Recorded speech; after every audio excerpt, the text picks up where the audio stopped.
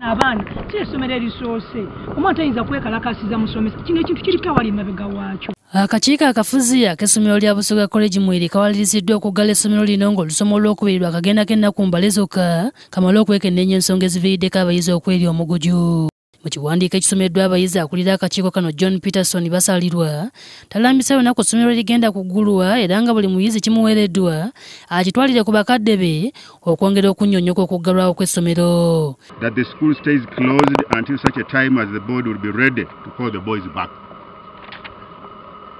So you have to listen to the radio. You should only come after listening or getting the radio announcements. That from now on, the police can use all means in their possession to investigate any criminal elements who might be involved in this problem. The culprits shall be brought to book. Number five, that the board accepts and owns the investigative committee to be set up by the resident district commission. And finally, that government, through its security organs, takes over the security of the school during this period when the students are not in school. And it has been signed by the chairman, Basariwa John Peterson. kino kiddiridde abayizi ku ssomero lino okuddamu okwekalakasa enkya ya leero nga bawakanya ekyabakulira essomero lino okubayisa obubi okuviira ddala ku mukulu waalyo george lule bwamala n'omumyuka waasooka henry monda We want him to go and, and the deputy. He has just increasing the school fees. Get the services. We are not getting any services. We, we, are, we are not getting anything. For, for the morning breakfast, there's nothing that is offered. You go and take just tea. Sometimes when there's no sugar. We didn't attack the police, bongeddeko nti abakulu bano baapaaluusa ebisale by'essomero okuva ku mitwalo ana mu omunaana ze baali basasula okudda ku mitwalo nsanvu mu etaano kyokka nga tebalina basomesa ebyenda bikirako ebyabasiba emakomera obujamu obuli mu bisulo byabwe n'ow'emindi asena nti era bayitiridde okulengeza bazadde baabwe School fees decreased to how much? They increased it from 480 to 750. We, are, not getting anything. How are, how are the meals? The meals are, the meals are too bad.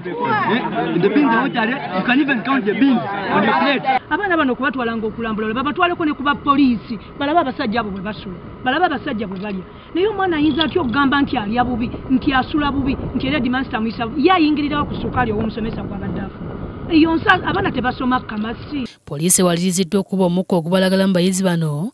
Oluvannyuma lw'okwonoona ebintu by'essomero nga n'endabirwamu ze baasizza bazimansizamansiza ku mbalaza z'ebizimbe.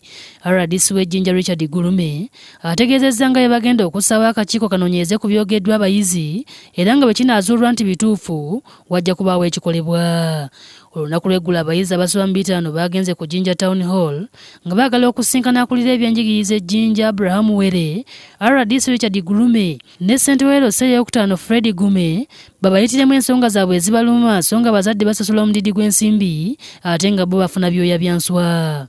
Wabula poliisi abamu yabasaliddeko wannyange nga tebannatuuka mu tawuni y'ejjinja okusasamaza abantu. Mu kanyoolagano kano waliwo abayizi babiri abalumiziddwa bwe buwungeredde olunaku lwaleero ng'abazadde batandise okunona abaana baabwe. Donald kirya yakusakidde eggulire lino ku lwabukedde tv